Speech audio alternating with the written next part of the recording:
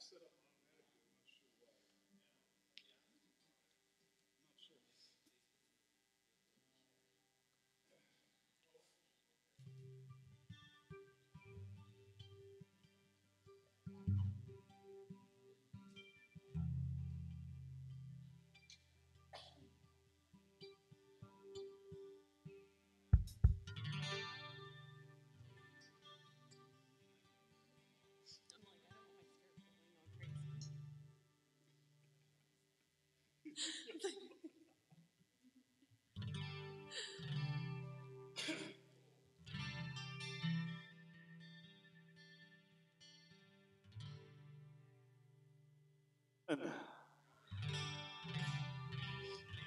Online folks, how you doing?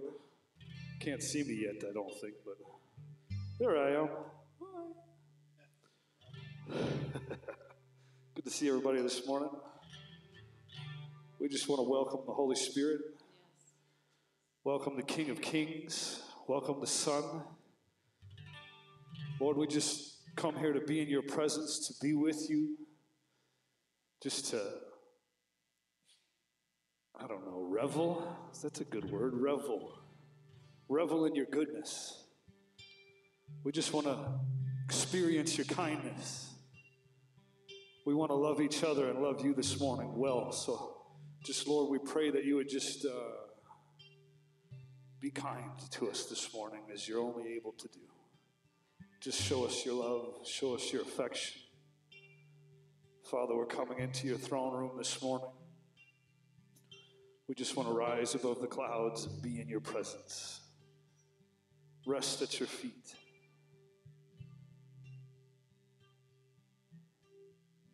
Just cast our crowns down before you. We welcome you, Jesus.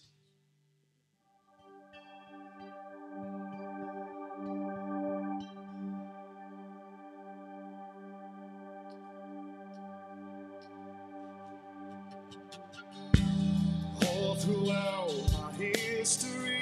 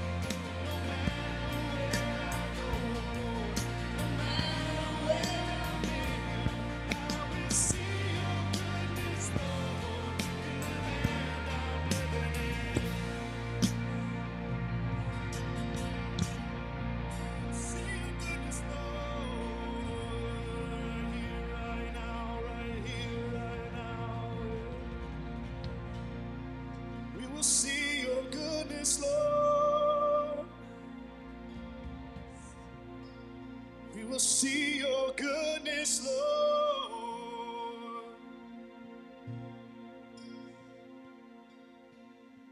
We will see your goodness, Lord.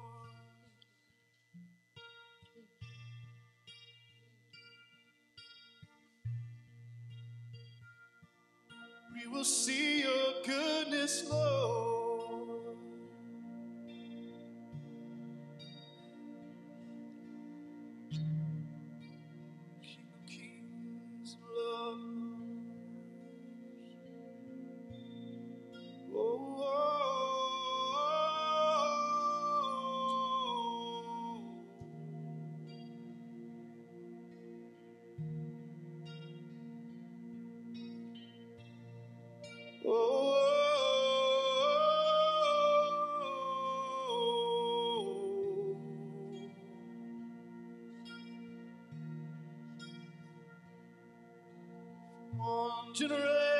To the next.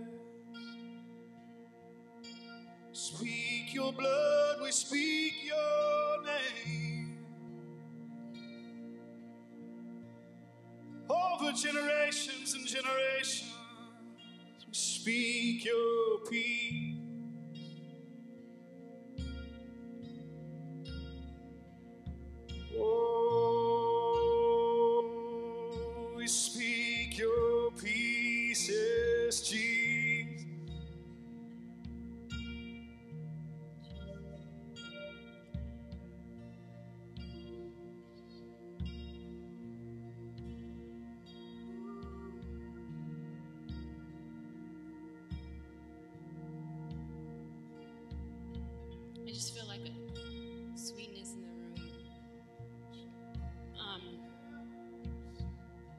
God's been moving my heart lately. I've been, I don't know.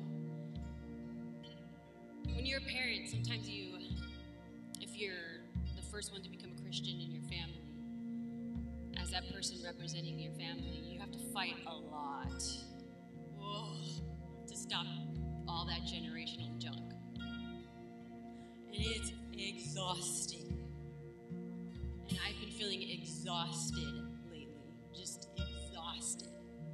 Because I want to fall right back into those habits of what my family, what my mom, what my, you know. But I know that we got to stand and take a different path. And while I was doing that, it's been a lot this year for me. A lot. This year of transformation, it's, beating me up, but in a good way. Um, but I did realize that as I was sitting there focusing on the fight, fighting, fighting, fighting, I realized that I was focused on myself. God hasn't left me, but my focus was including him in in my fight when I needed him, but also excluding him when I was focused on myself because I was the one doing the fighting. So he spoke to me and helped me realize that that's a little, you know, lovingly that that was like a prideful thing inside of me. That when I tend to focus because I'm fighting, because I'm the one doing the work, that was my pride was pulling away from my focus on him, which was making me more vulnerable to other things. So I had to step back and include him and draw closer to him rather than farther away because I'm focused on me doing the work. I don't know if that makes sense, but I just want to say that I feel like God's here with all of us. There's a lot of people that I look out and we are fighting. There's a lot of fight happening lately. And He's with us. And I just want to remind us to step closer to Him. Sometimes it's hard, sometimes it's there's so many things to do, you're exhausted, but He's here. He's here. He's going to give you strength, He's going to meet with you.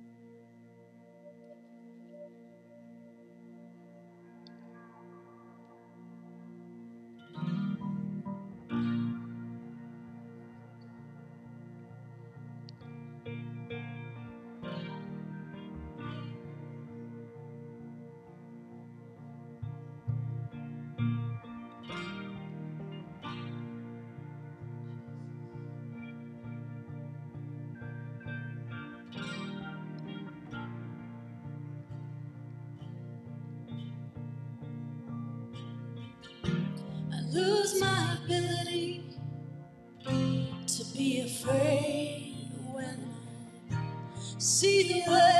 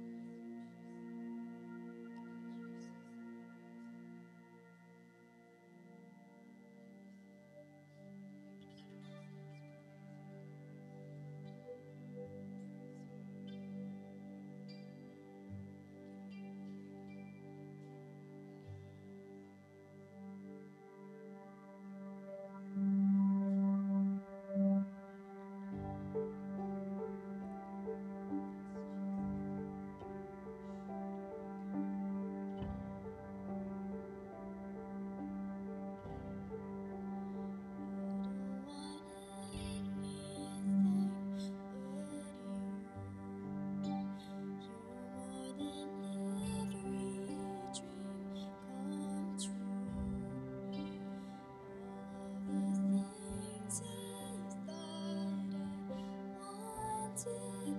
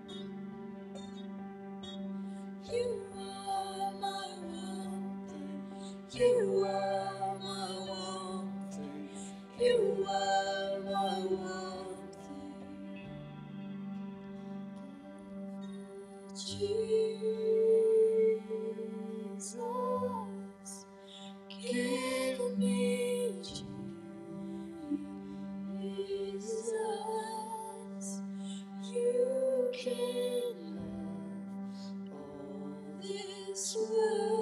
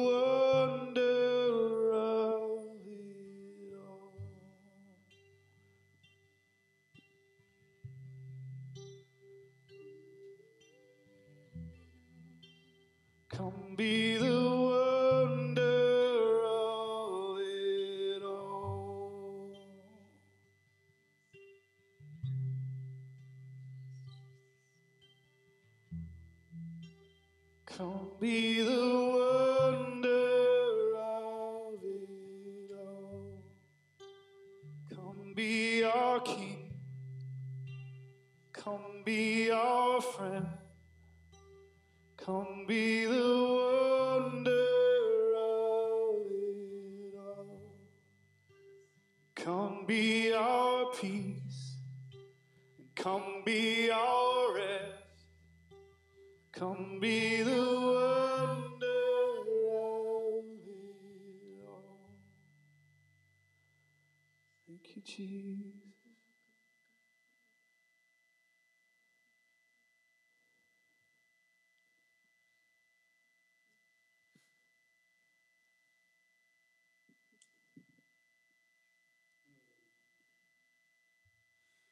Amen. Some little sneaky bugger shut our TV off back there while we're. Which is why we were standing like this. Catherine. Hey, she is. I'm okay with it. We forgive her. That's why we our just looked little like. That's why we looked befuddled for a minute. If you were curious. Yeah, that's why we were like. You guys were all having a good time though, so we just. Uh, I looked out at you guys, and you guys didn't even notice. Probably worked out.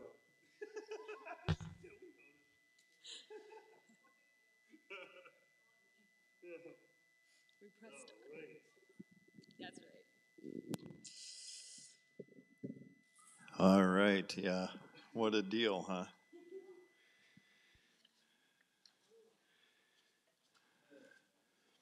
Well, I guess we could have elevated desks. That would be a possibility. All right, well, God's good, and as usual, I got to run over here. Yeah. I got to get a hold of this for some reason. We teach out of the Bible. It's because it's the Word of God. We must live by what it says, that's for sure. Well, this morning, Pastor Suzette happens to be in um, Austin, Minnesota area, Brownsville, which is just a little dinky place outside of there. Uh, it's her brother's 70th birthday, and so doing the decade thing. And, you know, if, if you've been around for a while, you know Suzette does a big shindig every, she throws one for herself. And she picks the themes because she doesn't want black balloons and all that jazz. But I would never do that anyway. I'm not that kind of a person. I refuse to do that. Um, we, when we ripen with age, it's a good thing because we're another decade in the Lord and we're growing in His grace and His mercy. So, so this morning I just wanted to uh, remind us that we are going to be starting October 24th the School of Kingdom Ministry. And it's called the Greater Grand Forks because I've been working with about five other churches that showed interest, and hopefully we'll be sending people to this school.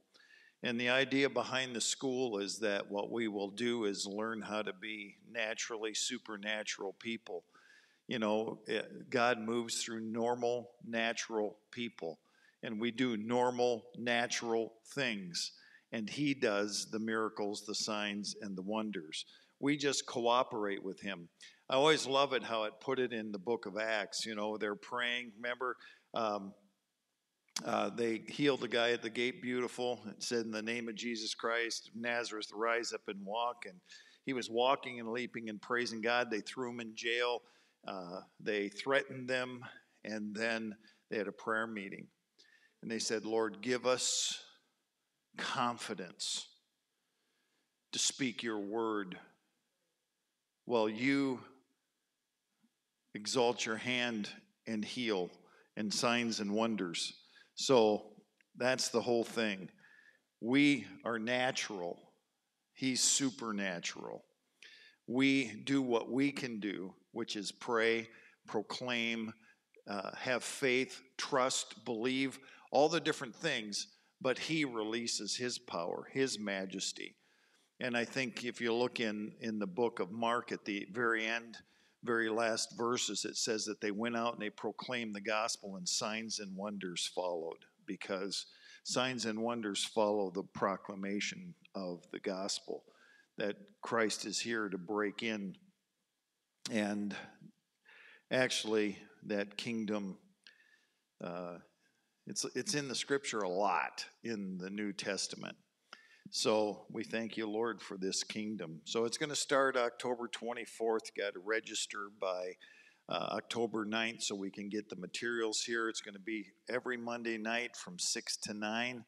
And we have three basic things we do one hour of teaching, one hour of what we call impartation, where we teach a lesson of, of something how to hear the voice of God, how to prophesy, how to do these different things, because Scripture says we can all prophesy one by one. So we're going to be teaching this, telling why we want to do this, uh, and then demonstrating it, and then we'll also participate. That's the third aspect of it: is we participate and actually put it into practice.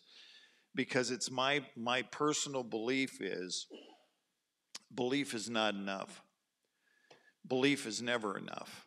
Belief should cause a response. Yeah, the demons believe and tremble, but they don't respond in the correct way. But when, when the gospel calls us, true faith means we have works. We heard that in that James that, that we listened to. He says, I'll show you my faith by my works. And so we have to do the things that God calls us to do, and that's exciting. So that's coming up, and uh, we're going to go for it. Well, this morning we want to give an opportunity to give to the Lord because we believe that's part of our worship. Part of our worship. You know, when the Lord, I know there are those, I always get a kick out of this because they want to be free they say, well, you know, the Bible says, uh, you know, that that tithing's of the law. And if you look at the scripture, tithing was from the beginning. Abraham tithed hundreds of years before the law. He tithed. And uh, so did Jacob. And so tithing is a principle that, Lord, you are the Lord of heaven and earth. And so we give to him that tithe as a thing of trust, as a thing of faith that you're my provider, as a thing of worship, as a thing of praise, as a thing of honor. And we have to understand that uh, that's just a biblical principle that came into effect before the law. And so, Lord, we thank you that we can give to you today for your honor and for your glory. And that, Lord, it says that you love a joyful heart. So may we give it with thanksgiving that you are the one who meets all of our needs according to your riches and glory. Amen. All right. Well, let's do it.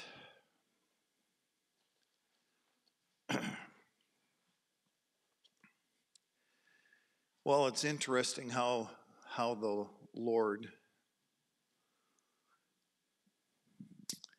Let's see, we need to release some bigger kids and then some littler kids. So let's go. We'll release you guys to go to children's church and youth group and have a great time.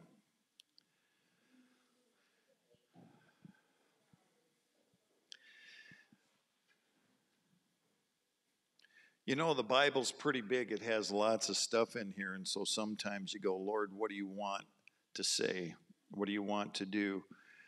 I know there are people who, who plan out their preaching schedule a year in advance.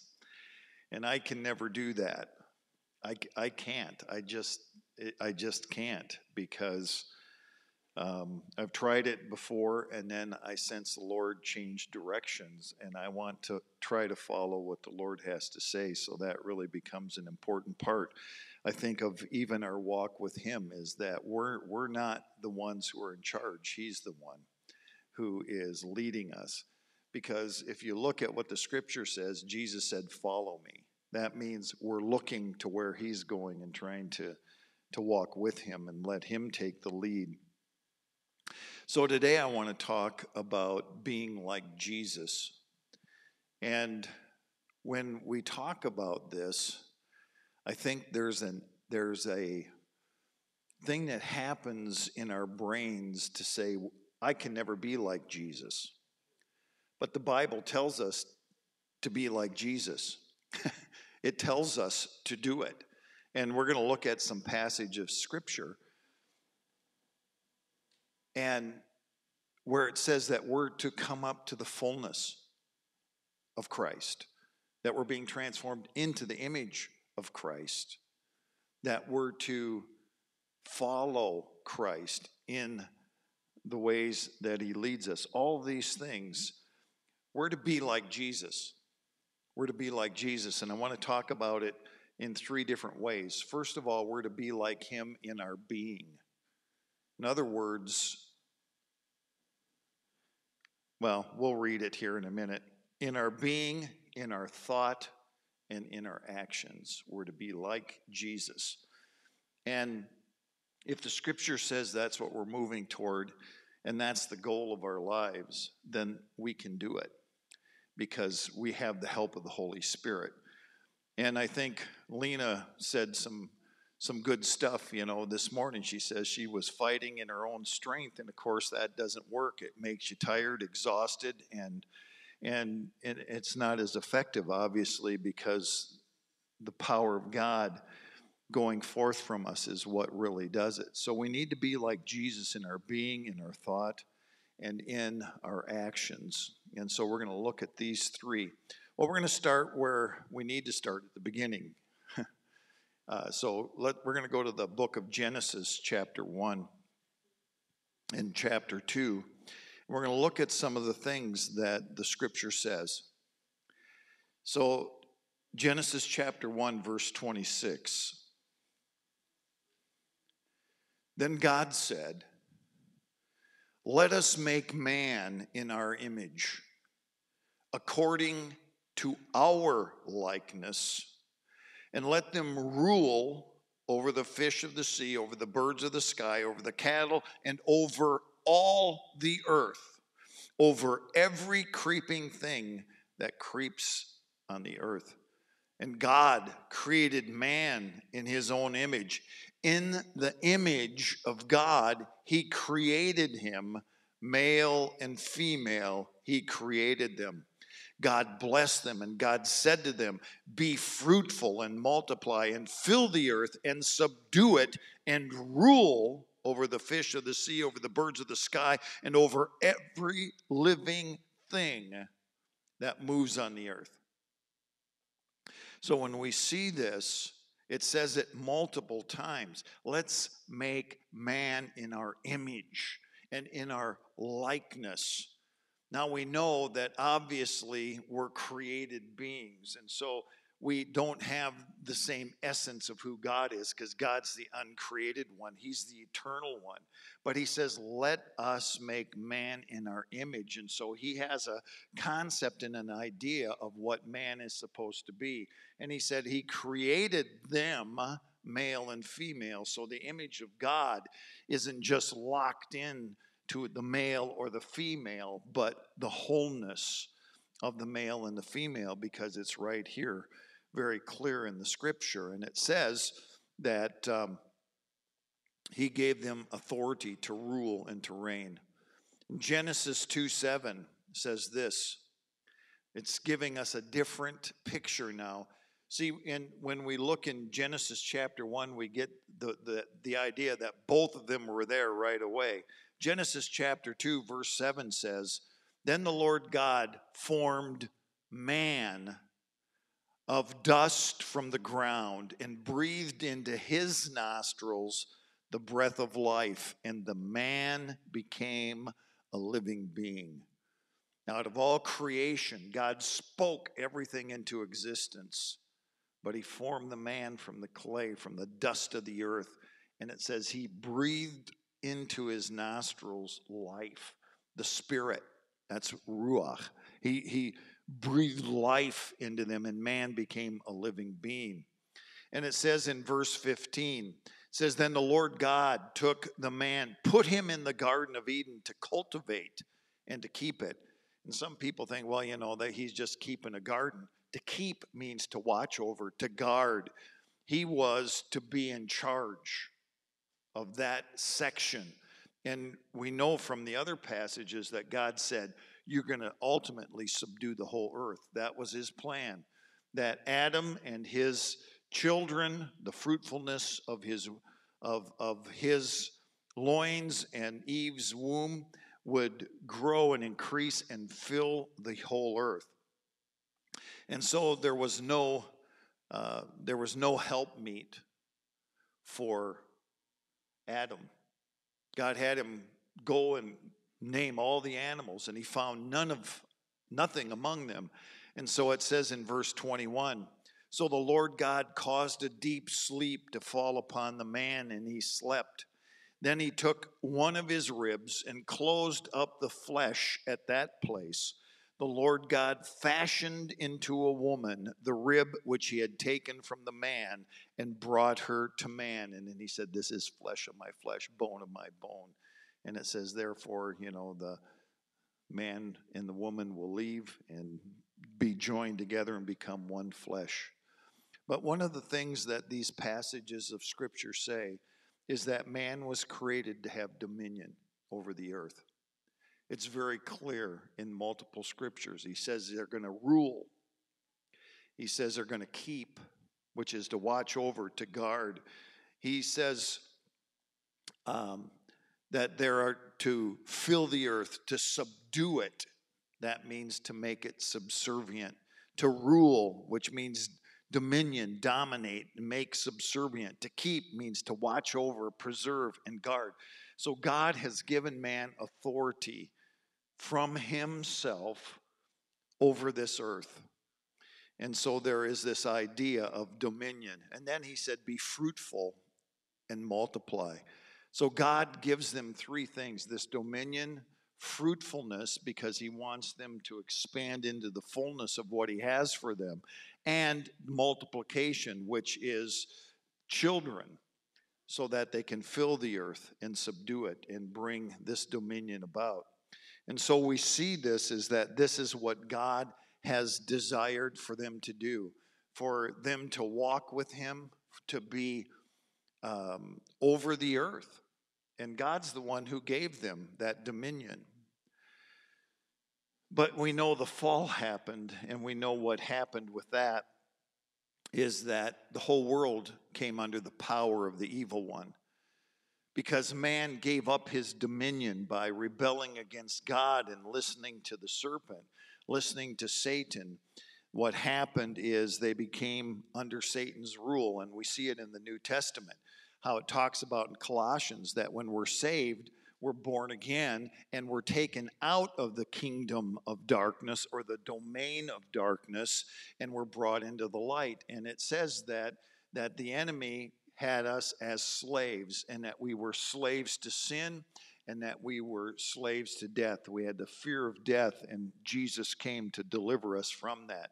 And so we see that because of this shift, there has been a change that's taken place in man. And the image of God isn't totally, absolutely destroyed. But one of the things that you have to think about, and is very interesting, and I don't think a lot of people um, talk about this because they're they're so concerned about um, you know just the sinfulness and the rottenness of man but man is spiritually dead. They're spiritually dead and they need life. And jesus came that we might have life and life more abundantly.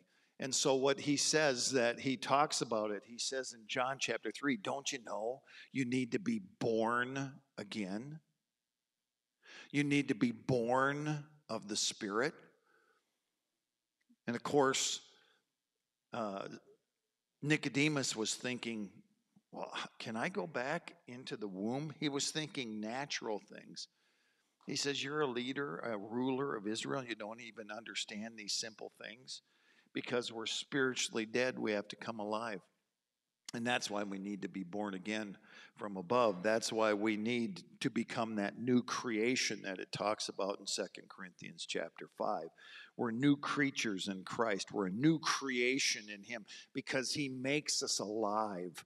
And now we can begin to enter into this second part of what takes place. Because of man's fall, it brought destruction, but Jesus came to restore all things. Jesus came to right things, to bring his kingdom, his power, his rule, his authority into our lives. And so uh, we're going to look at a couple of different passages in Colossians chapter 1, verses 28 and 29.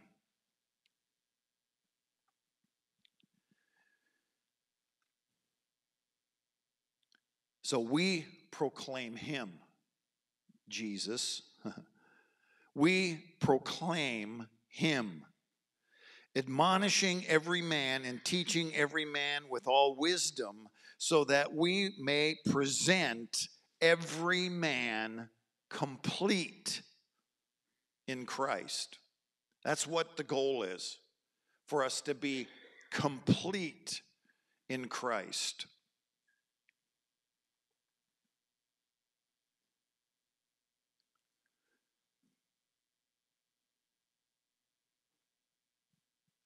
For this purpose also I labor, striving according to his power, which mightily works within me. So I find it interesting. Paul talks about this in a lot of different places. He's striving. He's he says, I am like a mother in birth labor pains over you until Christ is formed in you. And so he's praying for the church. He's asking. He's, he's seeing that the goal is for us to be like Jesus, complete in him. So Jesus came to restore what was lost through the fall. And so when it says complete in him, I do believe it means complete. That's what the goal is. And so when we look at 2 Corinthians 3 17 and 18, which is one of the verses that we had for our theme this year of transformation, 317 says, Now the Lord is the Spirit, and where the Spirit of the Lord is, there is liberty. But we all, with unveiled face, beholding as in a mirror, the glory of the Lord are being transformed into the same image from glory to glory, just as from the Lord, the Spirit. And so he says some powerful things here. He says that as we look at the Lord, because we're beholding him in a mirror, as we're beholding the Lord, as we fix our gaze upon him, we are being transformed by the power of the Holy Spirit. You remember that this word be transformed, when it says that, that it's in the passive in, in the Greek, which means it's being done to us.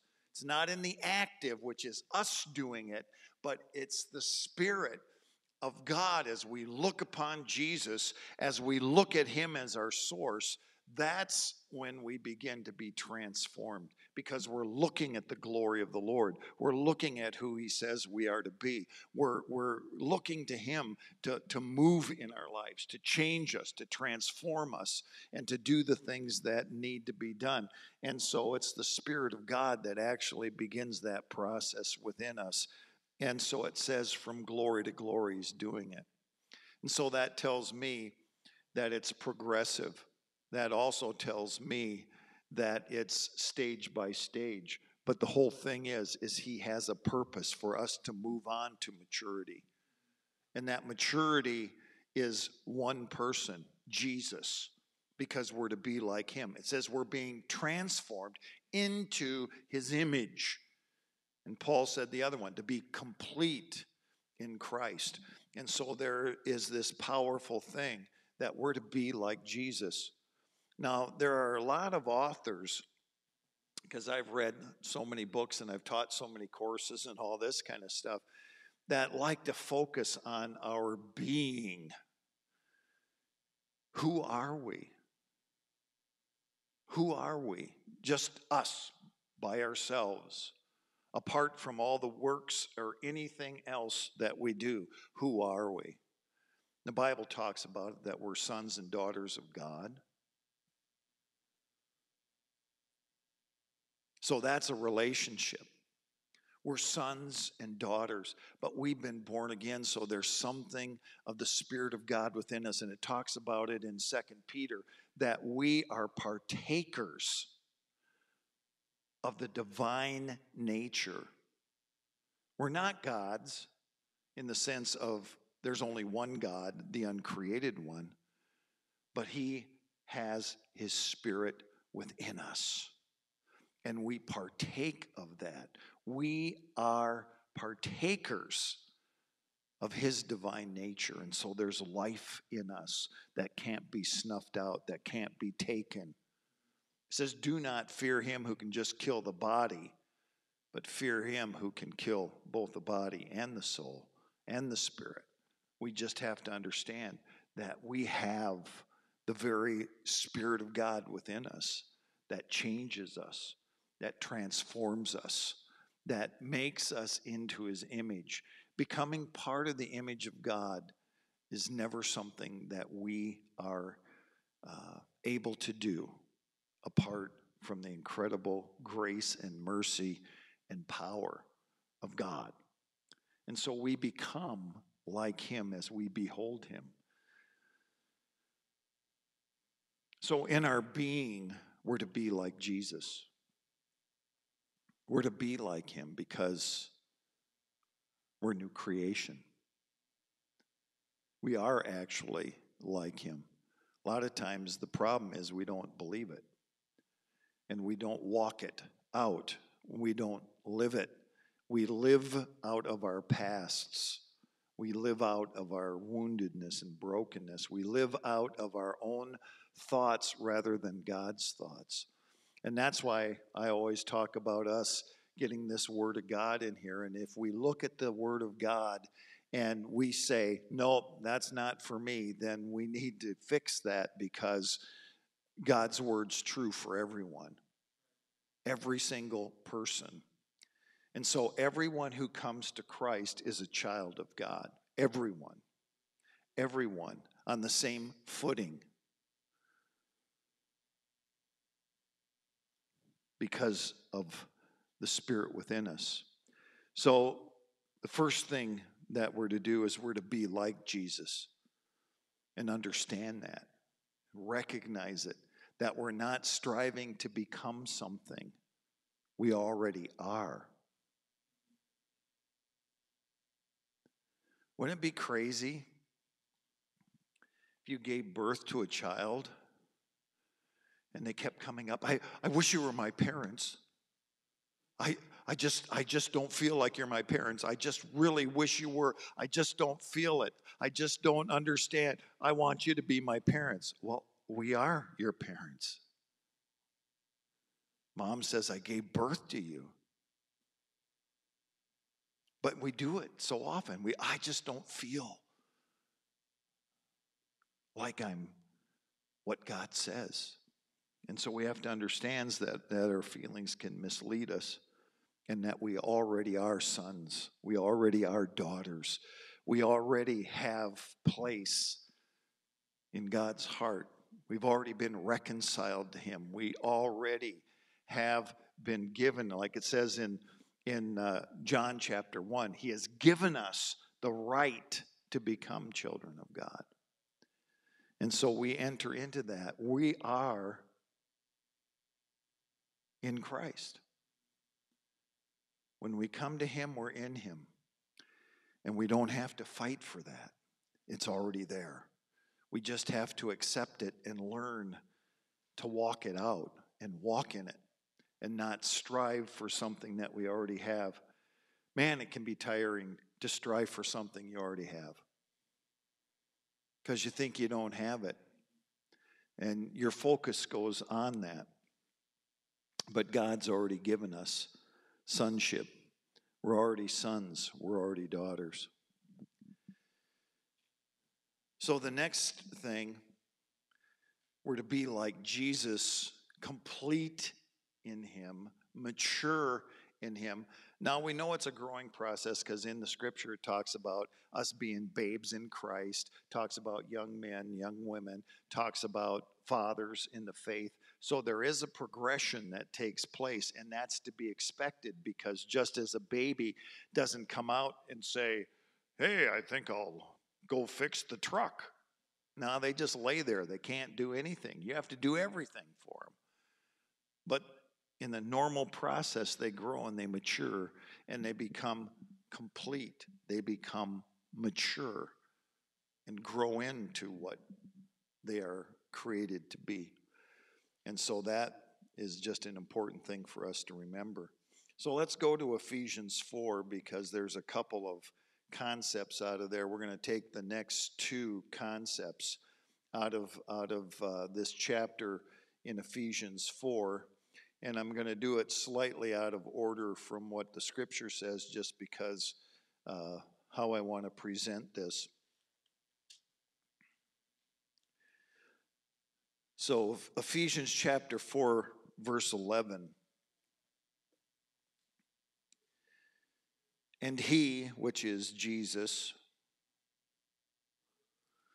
gave some as apostles, and some as prophets, and some as evangelists, and some as pastors and teachers for the equipping of the saints for the work of service, to the building up of the body of Christ. Now, listen, until we all attain to the unity of faith and of a knowledge of the Son of God to a mature man. Again, here's this maturity, this growth, this stability of maturity to the measure of the stature which belongs to the fullness of Christ. That is the example of maturity. It tells us what it is the fullness of the stature of Christ. That's what it's talking about stature which belongs to the fullness of Christ. Then it says in verse 14, as a result, we are no longer to be children tossed here and there by waves and carried about by every wind of doctrine, by the trickery of men, by craftiness and deceitful scheming. But speaking the truth in love, we are to grow up in all aspects into Him who is the head, even Christ for whom the whole body, being fitted and held together by what each joint supplies, according to the proper working of each individual part, causes the growth of the body for the building up of itself in love. Man, there's so much in there.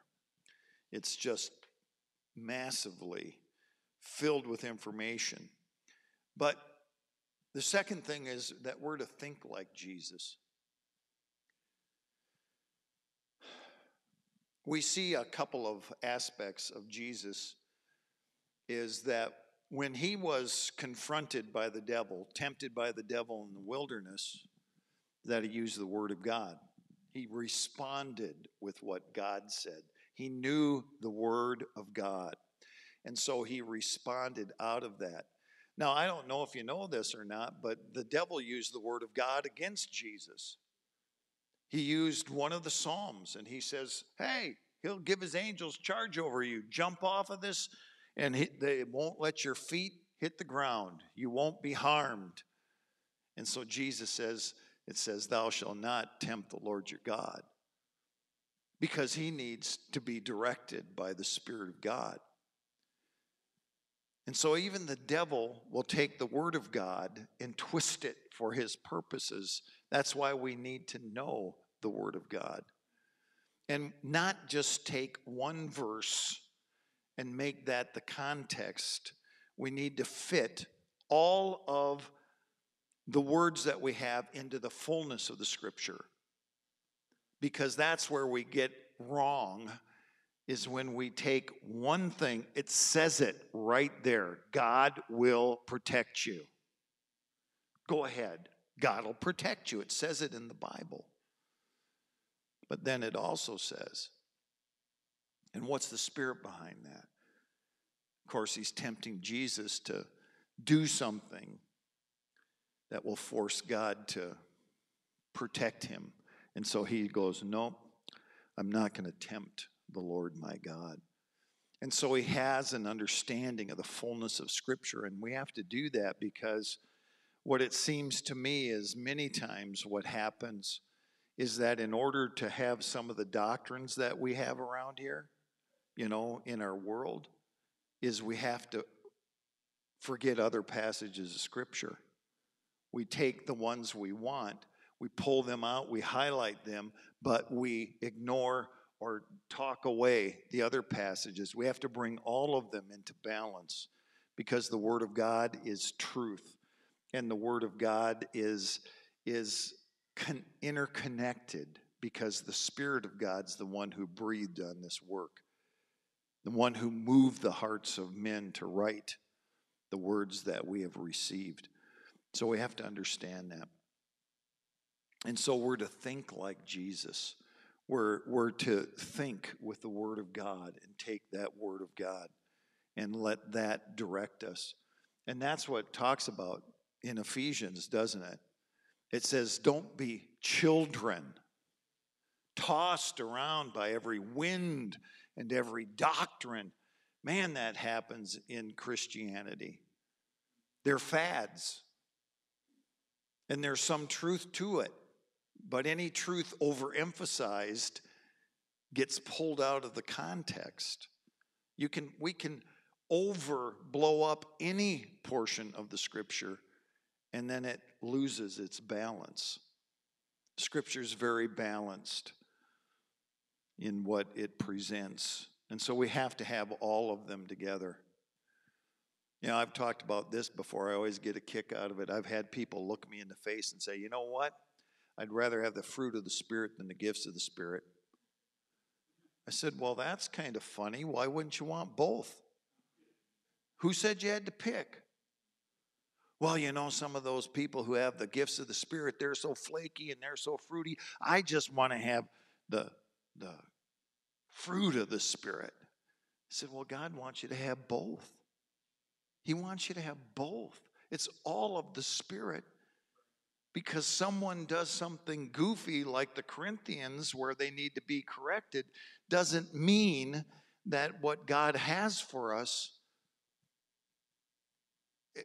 fruit of the spirit gifts of the spirit same spirit and so I want it all and hopefully learn to do it in his spirit right and not in the flesh, because we can do a lot of things in the flesh. It, it happens. And that's why some people are afraid. So, what we have to do is take this word of God. And here is, I don't know, I have certain passages that I read all the time because I, they're just important. And one of them is in Philippians chapter 2. So if you just flip, flip to Philippians, this is the thing. We need to think like Jesus. And this is what it says. Paul's saying in verse 5, he says, Have this attitude in yourself, which was also in Christ Jesus. So this is the thinking, and this is the response of the heart. He's saying, I want you to have the same attitude, the same thought, the same heart as Jesus, who, although he existed in the form of God, did not regard equality with God a thing to be grasped, but he emptied himself, taking the form of a bondservant and being made in the likeness of men. Being found in appearance as a man, he humbled himself by becoming obedient to the point of death, even death on a cross. And for this reason also, God highly exalted him, bestowed on him the name which is above every name, so that at the name of Jesus every knee will bow of those who are in heaven and on earth and under the earth, and that every tongue will confess that Jesus Christ is Lord to the glory of God the Father. We looked at this in a sermon a ways back, but we, we found that when we do what God calls us to do, we bring glory to God. That's how you can glorify God. How can I glorify one who is magnified so high? We glorify God by walking in obedience to his call. And so this is kind of interesting when we look at this. Talks about Jesus, first of all, existed in the form of God, but he did not regard equality with God a thing to be grasped. He wasn't looking for his own glory. He wasn't looking for position. He wasn't looking for power. He wasn't looking for anything but to glorify God. And it says he emptied himself this idea of Jesus coming, he actually, when he came, he emptied himself and fully refused to move on his own authority and power. It says it in the scripture I only do what I see the Father doing. And the Spirit of the Lord is upon me because He anointed me to do the things. Every miracle Jesus did was through the power of the Holy Spirit, not through His own power. He humbled himself, he emptied himself, he refused because he needed to. Because if he came and used his power as God, then that would leave us behind. But he came as a man, it says, emptied himself. He's fully man, fully God. We don't, it's hard for us to get it. You know, we want scientific proof, you're not going to get it. He emptied himself and became, took on a form of a bondservant. He came to serve the Father and he came to serve us. And if you don't think that, you can say, Mark, Jesus said, the Son of Man did not come to be served, but to serve and to give his life a ransom for many. He came to serve us as well as the Father. It's interesting. So he emptied himself. He became a bond servant, being made in the likeness of men. And it says he humbled himself. That's a huge humbling. He says he humbled himself by becoming obedient to the point of death, even death on a cross. Boy, does that ever take humility. He was mocked, he was scorned, he was beaten, They just, come on, get off the cross. You saved others, you can't even save yourself. They just mocked him and came, came against him. But it says he was obedient, even to the point of death. So God calls us through Paul here have the same attitude. Have the same attitude. Think like Jesus. Think like he thought, not to exalt yourself, but to humble yourself, to become a bond servant, to give your life, even to the point of death if necessary. We never know. None of us know what's ahead.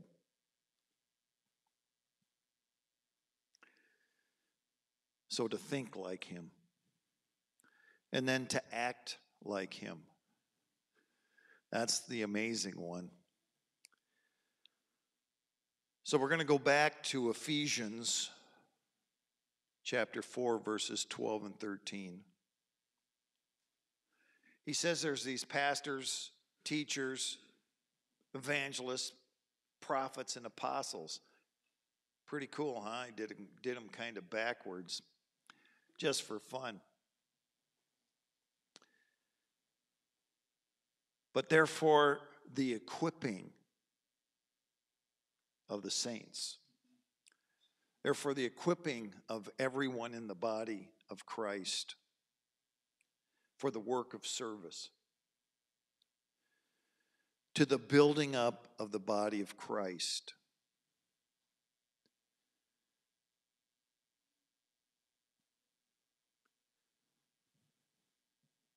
I'm convinced that many of us don't understand how important we are to building up the body. Sometimes we feel insignificant.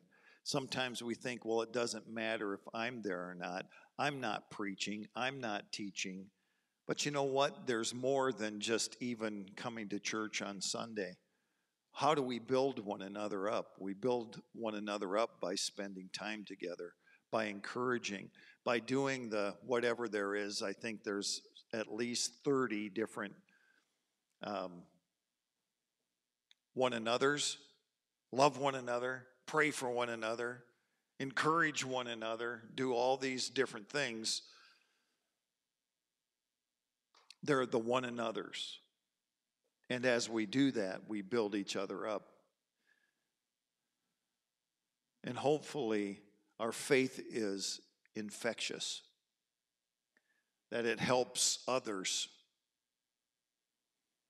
That you come into this place, and as you look around, you might see someone and you might encourage them. You might speak a word into their life. You might even pray for someone after the service. You might speak life to them that will help them continue to press into the Lord and grow in His ways. And so that becomes an important thing. It's not just the ones who are like me preaching, it's us as we come together and minister to one another and build up one another. That's what we're talking about because it's talking about the work of service. We're serving the Lord and we're serving others. And we're helping the body to grow into a mature man, because that's what it says. Um, building up the body of Christ, verse 12, until we attain the unity of the faith and of the knowledge of the Son of God to a mature man, to the measure of the stature which belongs to the fullness of Christ. In all these things, Christ is our measuring stick. Christ is the one that we're becoming like. Christ is the one. See, it's so easy. That's that's why that's why the scripture says don't compare yourself to one another. We're not, you know, when we compare ourselves to one another, ooh, I know more scripture than them, so I'm holier. Ooh, I don't do this, but they do. Ooh, look at me. Jesus is the only one we look at. And Jesus is the only one we place our life against. And as we look to him, we're being transformed and renewed. So just, just recognize that fact that, that we're to be like him. We're to grow into maturity, and we're to help others do the very same thing. And so, if we have the same attitude of Jesus, that means we have to do things. Jesus didn't just have an attitude, a good attitude, and sit there. What did it say? Total submission to God.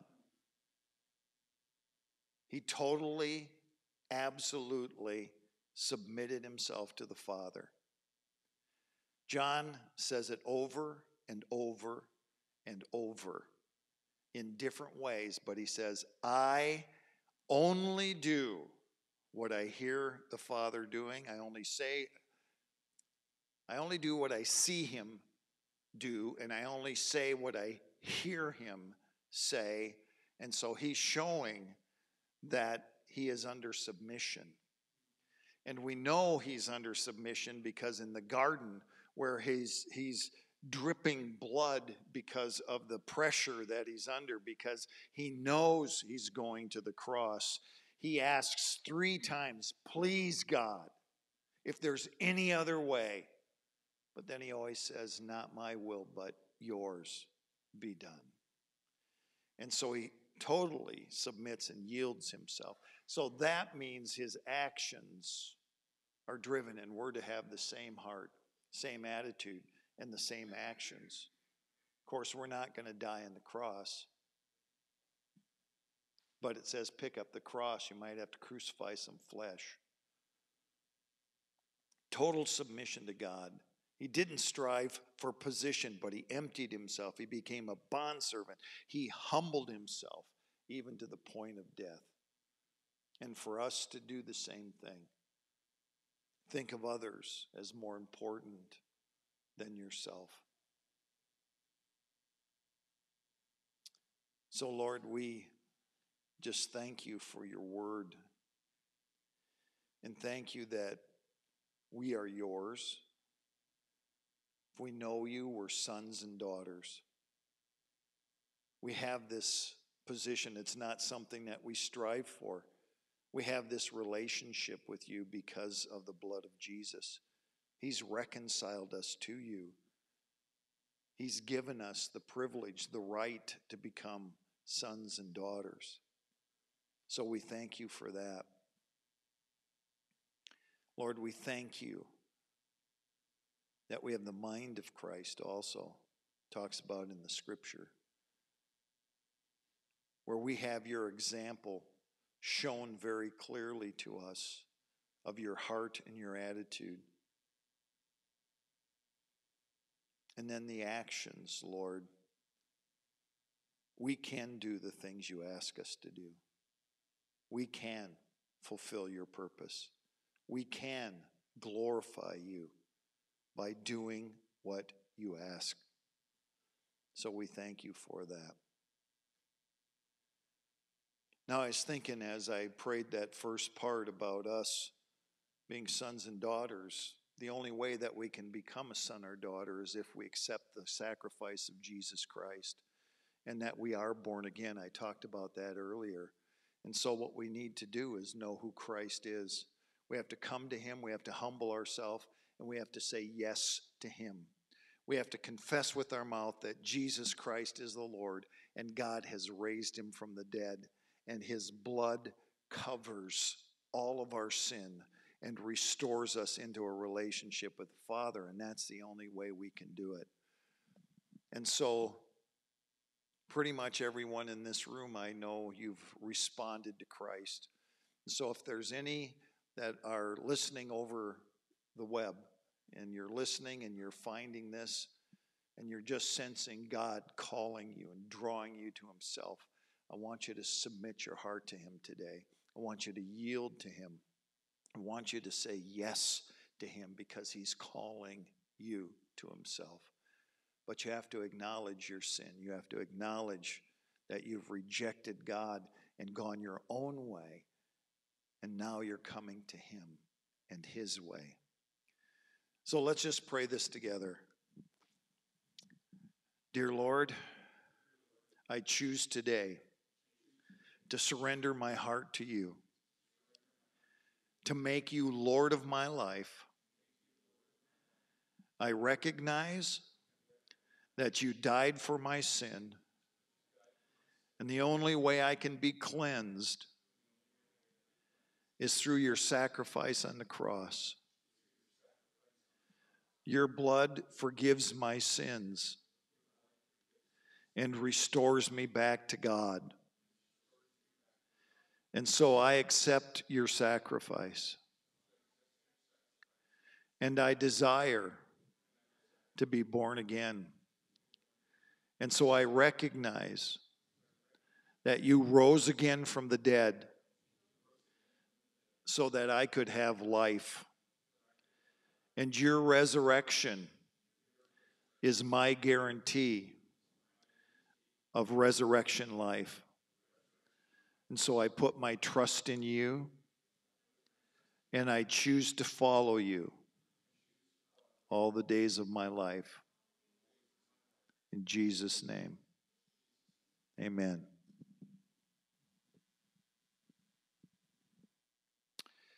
All right. That's amazing stuff. It's good stuff. It's the Bible. So we have to go for it. We have to press into it. We have to believe it. We have to understand who we are in Christ and great position and place that He gives us. All right. Well, light your and fire. And if you need prayer, would like prayer for any purpose, then we'll be happy to do it. So God bless you. Have an awesome day.